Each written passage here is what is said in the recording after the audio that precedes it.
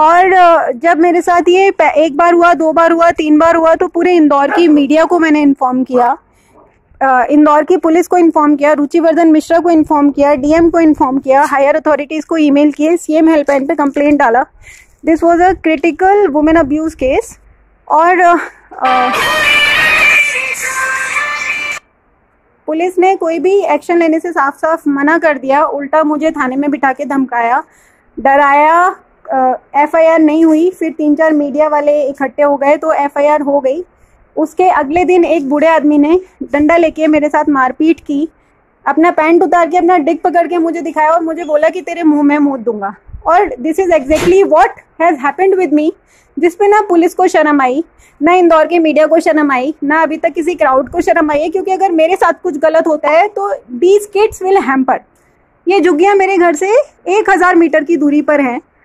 और उसके बाद पुलिस ने एक बहुत ही अच्छा समाधान निकाला कि मेरी सीएम हेल्पलाइन पर जो कंप्लेन थी उस कंप्लेन में ऐसा अपडेट किया कि मैं डेली शाम को अपने सारे डॉग्स को उन झुग्गियों तक जो बच्चे जिनका एक पैर टूटा हुआ है जिनकी कमर की हड्डी टूटी हुई है मैं उन डॉग्स को हैंडीकैप्ड डॉग्स को ले जाती हूँ बाँध कर झुग्गियों तक। और झुग्गी में रहने वाले लोगों को अ, के ऊपर अपने कुत्तों को बोलती हूँ अटैक करो फोर्स करो। ये बच्चा किसी के ऊपर अटैक करने लायक है क्या? ये बच्चे किसी के ऊपर अटैक करने लायक हैं क्या? और फिर वो झुग्गी वाले लोग मुझे बोलते हैं, मैडम, आप अपने कुत्तों को बाँध लो। और जैसे ही वो मुझे ऐसा बोलते हैं, मैं उनको गालियाँ देना शुरू कर देती हूँ। और ये सीएम हेल्पलाइन पर कंप्लेन के बाद स्टेटस अपडेट करके पुलिस ने वो कंप्लेन क्लोज कर दी। So now I am in a situation जहाँ पे कि मेरे जो डॉग्स हैं, वो literally under the threads of these झुग्गी पीपल हैं। क्योंकि अगर ये मेरे घर के सामने नंगे नाचे गालियाँ दें, कुछ भी करें और मैं बोलूँ कि मेरे साथ मिसबिहेव कर रहे हैं तो पुलिस बोलती है, मैडम के कुत्तों ने भौंका। मतलब डेली शाम को स्पेसिफिकली ये जो बच्चे हैं, ये वहाँ तक जाते हैं, झुग्गी वालों के घर में घुसते हैं, उनके ऊपर भौंकते हैं, उनको डराते हैं और फिर वापस आ जाते हैं। ये पुलिस ने सीएम हेल्पलाइन पर स्टेटस अपडेट किया। When I called CM helpline तो सीएम हेल्पलाइन का कहना है कि ये तो विभाग ने अपडेट किया है और पुलिस इंटरेस्टेड नहीं है किसी भी अब्यूज़र को पकड़ने में।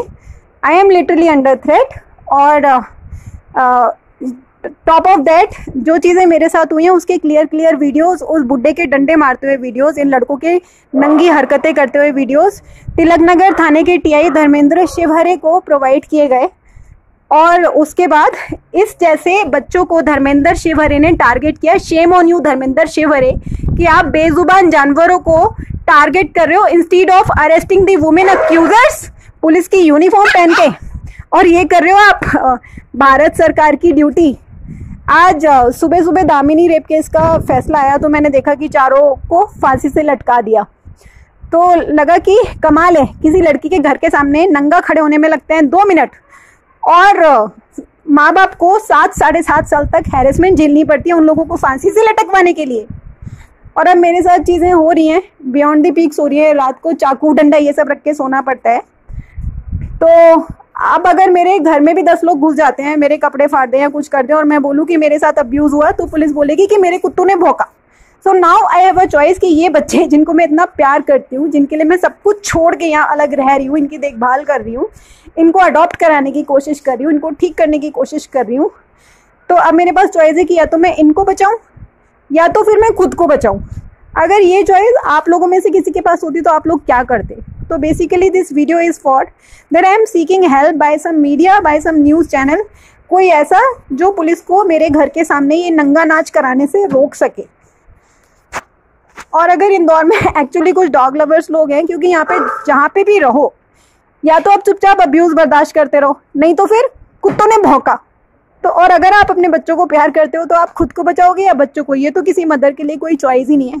I am a mother of all these kids और मैं अपने से पहले इनके बारे में सोचती हूँ, क्योंकि दैट इज़ माई जॉब पर तिलक नगर, इंदौर थाने की पुलिस ने मेरी लाइफ हेल कर दी है। ऐसा नंगा नाच करा रहे हैं लोग मेरे घर के सामने कि I don't know till how long I will survive here so basically Indore में कोई कायदा कानून नहीं है। This is a bloody jungle जहाँ पे if you are not a N G O and you are not collecting a huge amount of donations और आप एक लिविंग स्टैंडर्ड मेंटेन नहीं कर रहे हो, आपने कुछ लोग नहीं पाल रखे हैं तो और आप सिर्फ़ एक नॉर्मल ग्राउंड पे सेवा कर रहे हो तो आपके कुत्ते भौंकते हैं।